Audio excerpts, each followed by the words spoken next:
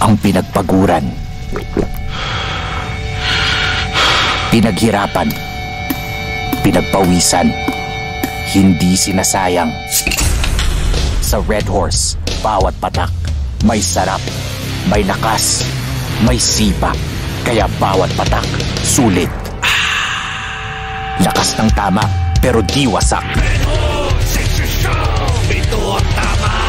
Drink responsibly.